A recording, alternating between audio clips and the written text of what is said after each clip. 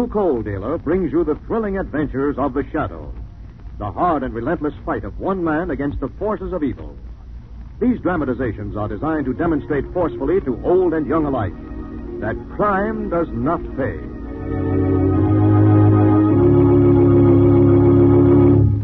Friends, there has been no interruption in the mining of blue coal. Every working day, the blue coal mines are producing at full capacity. Yes, householders can fill their bins with blue coal this spring and be sure of the same steady, healthful warmth next winter they have enjoyed this year. Because of the shortage of other fuels, the demand for hard coal has greatly increased. And for your safety and comfort next winter, we want to make this suggestion. Place your order this spring, the sooner the better, for the coal you will need next winter. Don't take a chance. Call the nearest blue coal dealer tomorrow and ask him to schedule your spring delivery of blue coal, America's finest hard coal.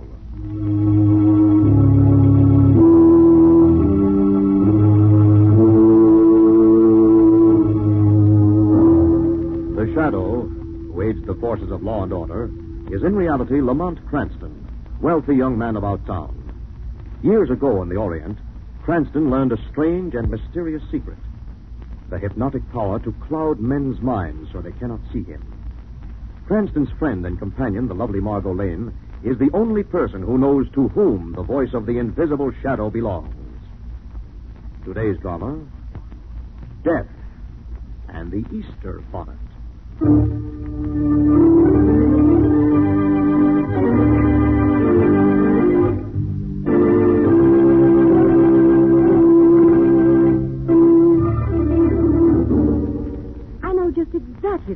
Easter bonnet I want, but there just isn't anything like it in any of the shops this year. And I... Lamont, you're not listening. Huh? Mm, yes, yes, I am, Margaret. You're talking about hats. I don't know how you know that. You're not paying the slightest attention. Pay attention to know that. What'd you say? Well, nothing. They try to palm off any old thing on you in the stores, but the one I buy must be beige, have a white bird wing, and two red cherries. No chopped nuts? Lamont, you're impossible. Can't you see how lovely it would be? Beige with a pair of dark red cherries and a white wing. Well, why don't you buy one? Well, I've tried. There are just a few little out-of-the-way shops that I haven't been to yet. And I don't intend to give in until I've exhausted the town. Say nothing of me. What's that? Uh, nothing, Doc. Well, somewhere in this city there must be a beige hat with... Hmm, I'll get it. Hello? This is Geraldine Granberry Smythe, Margot. Oh, yes, Mrs. Granberry Smythe. Listen, my dear, I hope I'm not too late with the invitation, but I'm having a musicale this afternoon at four. Oh, well, it's awfully sweet of you to ask me, Mrs. Granberry Smythe. Now, um, before you say no, my dear, it's going to be quite an affair. Raoul Respighi is the guest of honor. Raoul Respighi? Oh, surely you've heard of him, Margot. The great violinist from Bologna. Where's Bologna? Oh, it's a small country in Middle Europe. Too utterly fascinating. And Raoul has taken the, its entire smart set by storm. You'll never forgive yourself if you miss meeting him. Oh, say you'll come. Well, I intended to shop for my Easter hat this afternoon. Surely that won't take until four o'clock, dear girl. I don't see why not. I've been at it practically all week. Have you tried the Baroness Yolanda shop? The Baroness Yolanda? Oh, yes, it's a charming little place just off Faulkner Square. I've never even heard of it. Well, you're hearing of it now. Just drop in and mention Mr. Respighi's name. You think I'll find what I want? If it exists, my dear, you'll find it at the Baroness Yolanda.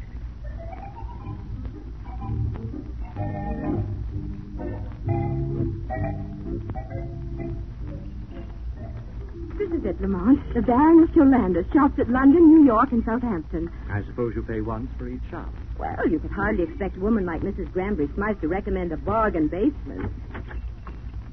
Yes? The lady would like to buy something. You're the Baroness Yolanda. I am. I'd like a hat, something special for Easter. Oh, ah, oui, mademoiselle. Um, this perhaps pastel green with the sprig of the lilies of the valley. Uh, very charming, don't you think? Yes, I do, but it isn't what I want. Uh, but perhaps mademoiselle has something definite in mind. I'll say, mademoiselle. If she will describe it to me, perhaps I could design it for her personally. Well, that's a wonderful idea. Look, I want a beige hat Yes, with a white bird wing white bird wing. and a pair of deep red cherries. Doesn't that sound divine? Yes. Who sent you here? I was told to mention Mr. Respighi's uh, name. I see. So do you think you could? Could what, mademoiselle? Design it for me. I do not have to design it, mademoiselle. That hat is here, ready and waiting. What? Here, monsieur. Mademoiselle. Lamont, look. It's almost exactly what I ordered. Naturally, mademoiselle. How much is it? Seventy-five dollars. Seventy-five dollars. For that kind of money, darling, you could buy a cherry orchard with a dove palm thrown in. I am sorry, monsieur, but that is the price. Come on, Margaret. No, Lamont. But- It's just what I've been looking for. Seventy-five dollars. I know it's expensive, but I've been saving up for this all winter. Besides, I always say it pays to buy nice things. You come out ahead in the long run. Mademoiselle will take the hat? Yes. I thought mademoiselle would.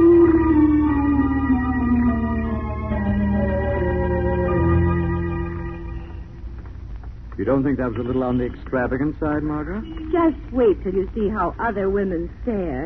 If that's what you're after. You get better results wearing a picture of Gregory Peck on your head. You know, darling, you're very bright about most things. But when it comes to women's hats, you suddenly go blank. I'm sorry. Nothing more to say. I beg your pardon. What's that? I said I beg your pardon, but I couldn't help noticing your hat. You see? It's the most charming thing I've ever looked at. Do you mind if I ask you where you got it? Not at all. I just bought it at the uh, Baroness Yolanda's, right across the square. I see. I hope you'll forgive my intruding. Don't mention it. She has some very lovely things. Drop in and look them over. Thanks, I intend to. Take your life savings with Lamont. Yes? I want a hat. Oh, oui. Perhaps you would I like know a- what I'd like. I'd like a beige hat with two red cherries and a white bird's wing. What? I wasn't told I had to repeat it. Who? Who sent you here? Red Spiggy. Where's the hat? I, I... Where is it? Why, I... I'll tell you where it is.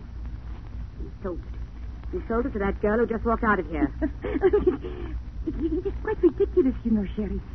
She asked for it. She knew everything. Even left his name, mind you. Who is she? But that I don't know, Sherry. Who's she working for? That I don't know Oh, either. this really is incredible. Eh bien, I have made a mistake, my cher. Obviously, the deal is off, and our friend doesn't have to settle with me. Our friend won't get a chance to settle with you. What do you mean? I mean, you sold us out. Oh, no, no, no, Sherry. It was a mistake, just a little silly mistake. To prevent further silly mistakes, I'm going to settle with you myself. A gun. no. No, no, please, put it away. I am so terribly, terribly afraid of guns, Sherry. Too bad. But this is the last one you ever have to be afraid of. Sherry.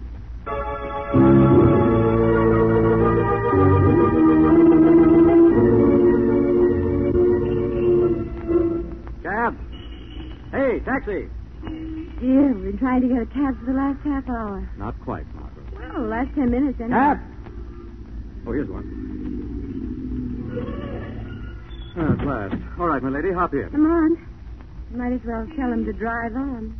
What do you mean? I've just discovered that I left my gloves in the Baroness Yolanda's shop. Oh.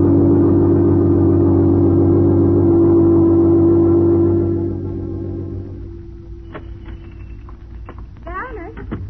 Baroness? Doesn't seem to be here. Oh, she doesn't seem to be here, Margaret, but she is. Where?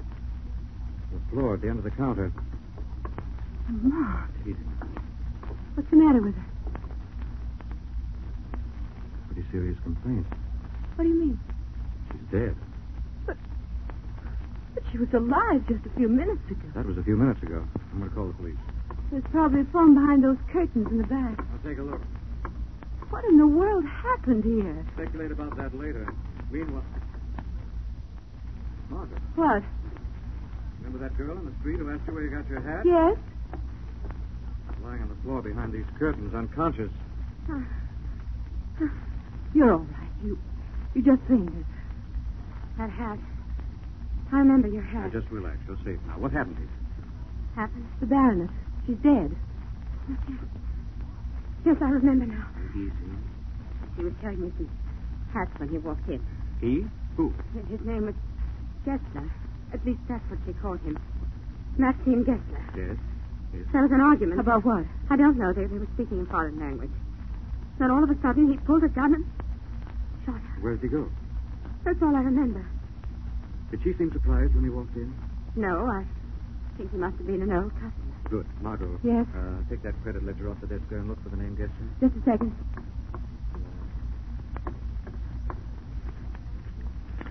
E F G G Gabby Daniel Jan.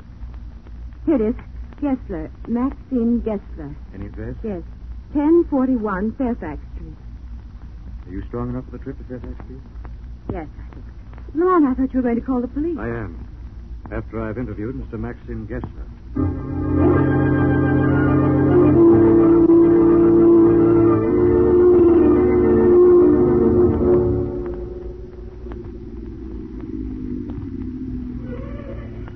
This 1041. And as bleak a piece of architecture as you're likely to see. Oh, why? You hold on the cab, Margot. You mean I'm to stay down here? In the event of trouble, it'll be tougher to have you both with me. This young lady has to go along to identify Mr. Maxim Gessler.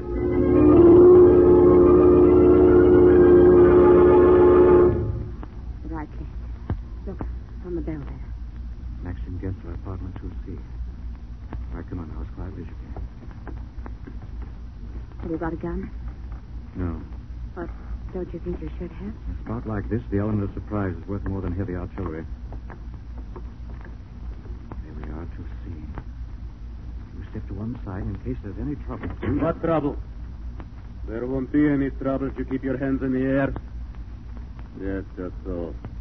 And show proper respect for this very admirable firearm. Gessler? Maxim Gessler, at your service, sir. And in case you have not been properly introduced, the young lady at your side is my very able compatriot, Miss Nadja Sentlow. Get inside. A trap, I take it, Miss Saint-Law? I'm sorry I had to lead you on, Mr. Cranston, but you'll forgive me when you see how much we need you in our business. Good work, Nadia. I took some fast thinking to get them here. When you phoned, you spoke of a young lady who had the hat. Yes, she's downstairs in the cab. I see. Here, take the gun. Thanks. Just keep Mr. Cranston occupied while I fetch the young woman. No. Out of my way. Take your hands off Margot Lane. Nadia, Yes? I'm going to have to use violence with Mr. Cranston here. If he tries to defend himself in any way, shoot to kill. Understand? Yes, Maxim. You have made this necessary. Sir!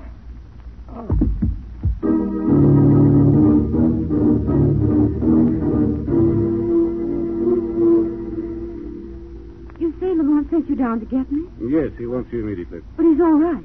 Well, never better. And the young woman? Miss Law, she's in excellent health, as you will see. Uh, up these stairs, please. What in the world is this all about?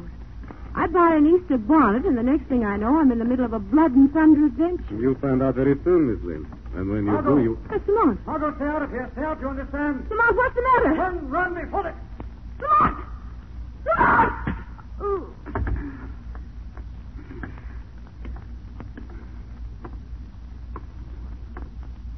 Open the door, Nadia. I had to stop him, Maxim. I understand. I had to pacify Miss Lane. Getting quite excited. What did you use? Blackjack. I trust I did not damage her lovely Easter bonnet.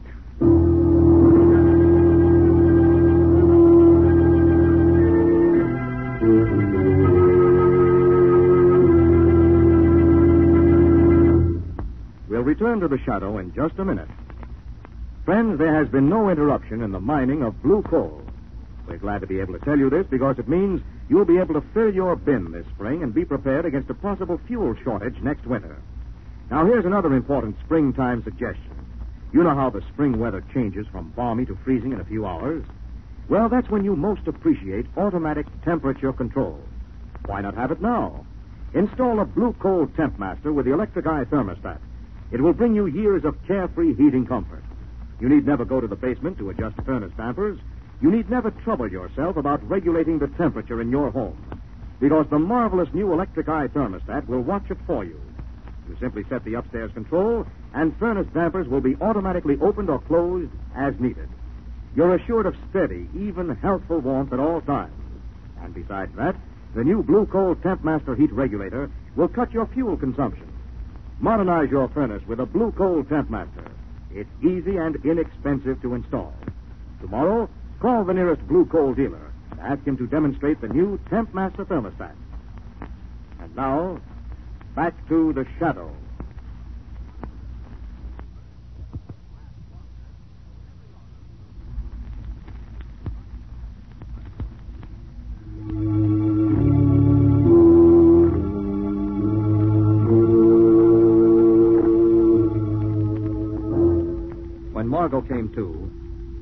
Discovered that she and Lamont had been dragged into a back room of Gessler's flat. In motionless silence, they both listened. As in the next room, Gessler and the girl Nadja examined her Easter bonnet. Well, have you found it? Not yet, but. Oh, wait a minute. Seems to be something sewn in under the band. Here, give it to me. Yeah. Now we just rip out the stitches. Ah. and there we are. Is that it? C over pi m squared plus u over 7. Yes. Yes. Oh, wonderful. Our friend should be very pleased, eh, Maxim? Let us hope so. Tell me, our friend, is he going to be late? Uh, let's see. He is his usual punctual self. He will be here within a minute. You think he'll have our money with him? I'm sure he will. He has their funds complete at his disposal. Whose son? The funds of the Royal Wallonian government. Yes. Prompt as always. Mr. Gessler, sir? Won't you come in, sir? I thank you. You are prepared? for my coming? Uh, yes, sir. The formula is here. Exactly as we agreed. Excellent. May I have it, please? Um, uh, before we make delivery, I think it only fitting that we collect our wages. Uh, exactly as we agreed. Five thousand. Exactly. We agree. Thank you. And now the formula, if I may? Here you are. I am most indebted to you. Now I come to a most unpleasant aspect of our relationship. Unpleasant? Why? I'm on highly criminal business in this country, and one thing is most apparent. What's that? I would be most unlucky if you decided to sell me out before I have taken my departure from You the should shore. have thought of that before. Oh, I did, Miss Nasser. And I made plans to take care of this contingency. What sort of plans? This sort. Oh, no. Put down that gun. I am sorry, Maxim. Most sorry, Nadja. But I cannot jeopardize the interests of my country. Please, I beg you. Don't. You can trust us. You can trust us. Respighi! Respighi!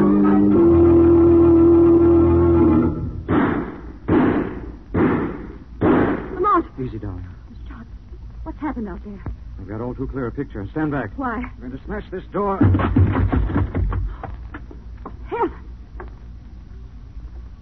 Glenn seems to have taken care of the book. he shot them. Did you hear what Gessler called him? Respighi. Yes. Raul Respighi. That is his name. Gessler.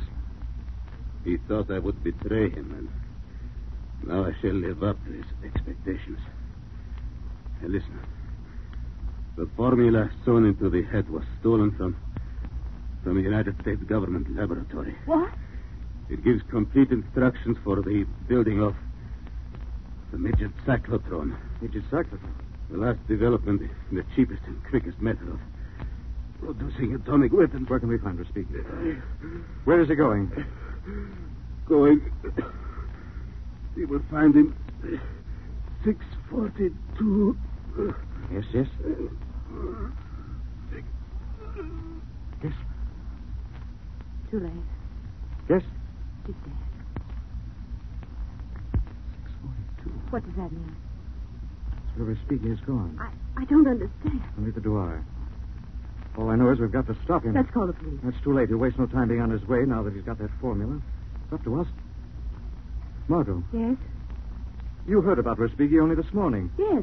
Through Mrs. Granbury Smythe. I see. You mustn't forget your manners, darling. My manner. A nice little girl would call up and apologize to Mrs. Granbury Smythe for missing her afternoon musicale.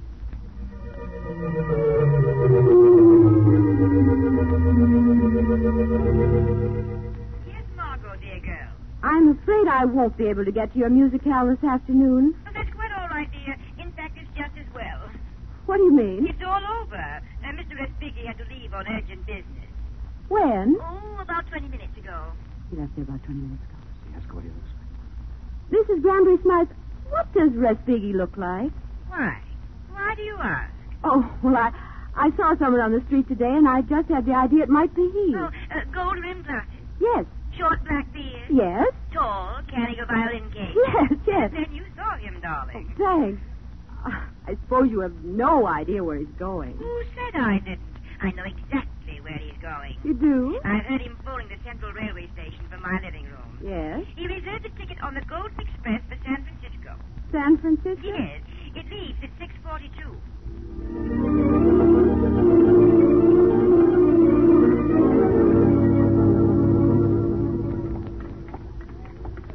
What time does the clock say?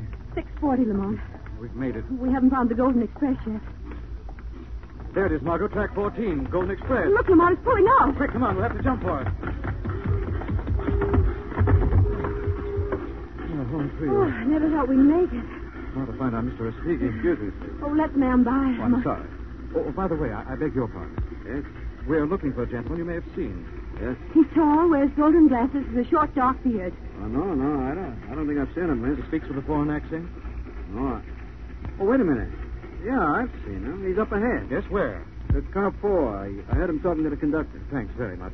You stay here, Margot. Lamont. There may be trouble. Well, then shouldn't you ask this gentleman to go along with you? No, you? thanks, sweetheart. It's a confidential But matter. if there's trouble, you may meet If someone. there's trouble, I'll have someone. Who? The shadow. Come back to you later, my lady.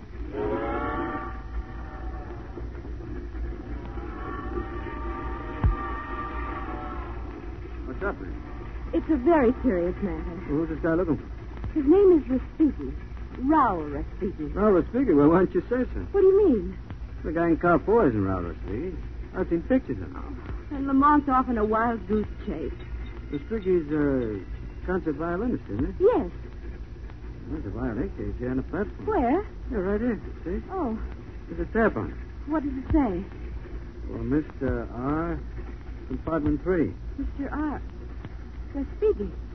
Where is compartment three? Next guy. You want to have a look? Will you go along with me? Delighted. Delighted.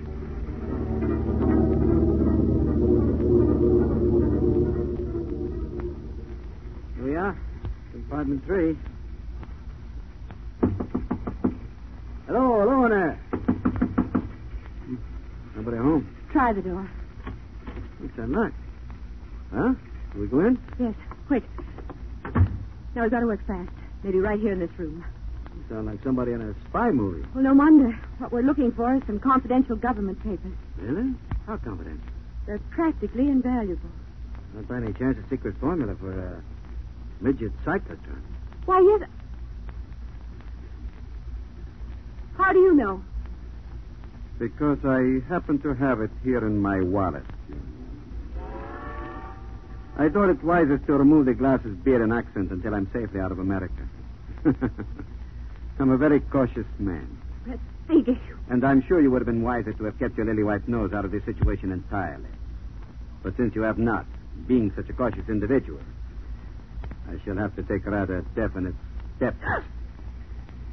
If you pull that trigger, they'll hear you outside. I hardly think they could above the noise of the rails. They could hear if I screamed. Perhaps, but it would do you no good. I have bolted the door on the inside. you amuse me, young woman, trying to play at intrigue with a man whose business is intrigue. Well, However, amuse me though you do. I can no longer afford the luxury of your presence. Please don't. Please don't. Don't, don't. What happened? What's going on here? The window suddenly broke. Something crashed through the pane. But there's nothing inside. I don't understand. what happened to your accent, Mr. Respighi? What was that? Shadow. Who's that talking? I cannot see anything. I am the Shadow. Now take that formula, Respighi. Don't come near me. Now take that formula. You touch me, I'll pull this trigger and kill this young woman before your eyes. I don't think so. I assure you I will. It may interest you to know that a Mr. Cranston discovered there was no man fitting the description he gave you in car four. He wired ahead to the next stop to have you picked up. What difference does that make? She'll be dead before we reach the next stop. We are at the next stop. What? The train has stopped, Respighi. And if you turn around, you'll see there are three American-made police revolvers leveled at you through the broken window.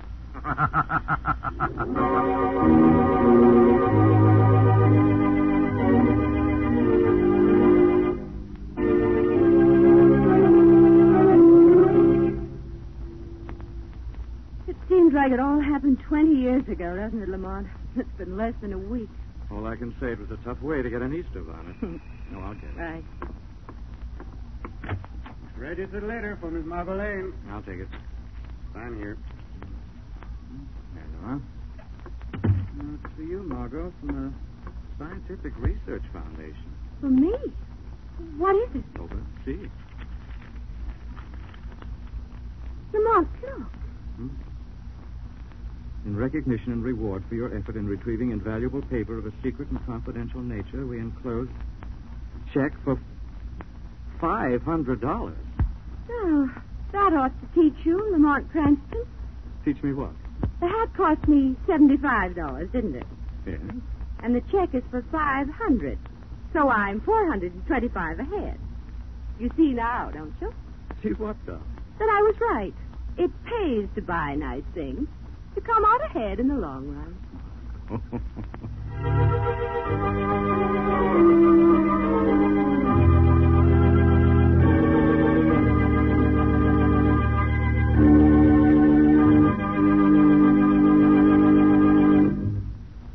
let me present Blue Coal's distinguished heating authority, John Barclay.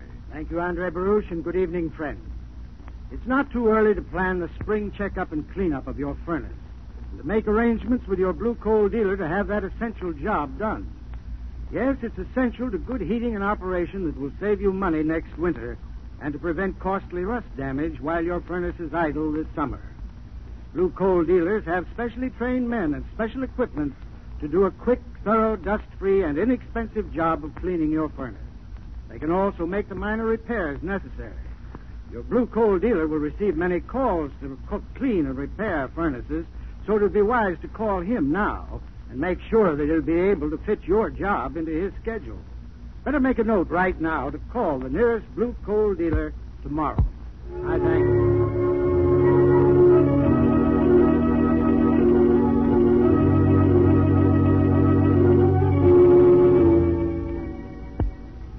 Story is copyrighted by Street and Smith Publications, Incorporated. The characters, names, places, and plot are fictitious. Any similarity to persons living or dead is purely coincidental. Again next week, The Shadow will demonstrate that The weed of crime bears bitter fruit. Crime does not pay. The shadow knows.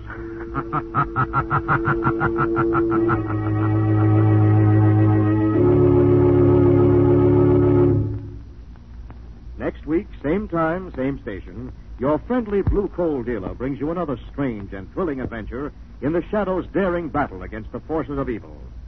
The Shadow is presented by the DL&W Coal Company, distributors of blue coal. Lamont Cranston is played by Bret Morrison.